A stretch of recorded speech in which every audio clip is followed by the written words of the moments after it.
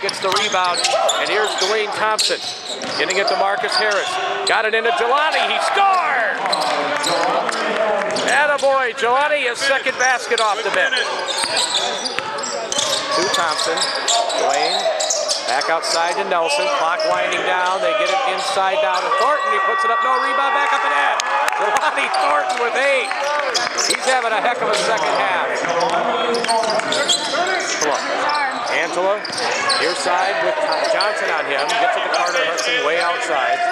Hudson right side to Jahlahni Thornton. Now they get it inside to Jahlahni. He puts it in.